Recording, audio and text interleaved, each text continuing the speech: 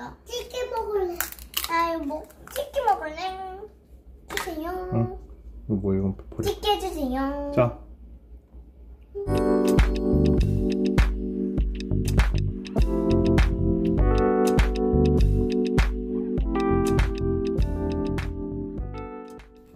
안녕하세요. 헤이파파입니다.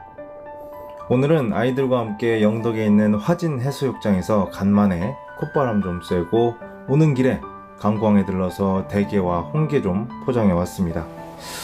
나름 시장에서 싸게 잘 사왔다 싶었는데 역시나 그 가격에 살이 꽉 찬 대게를 바라는 건 욕심이었나 봅니다. 홍게도 마찬가지였어요. 별로 먹을 게 없더군요. 그래도 대게를 좀 먹어본 1인으로서 대게 먹는 방법에 대한 컨텐츠를 하나 준비해 봤어요. 여러분들도 이 영상을 보시고 나면 가족들 앞에서 멋지게 대게 해체쇼를 보여주실 수 있습니다.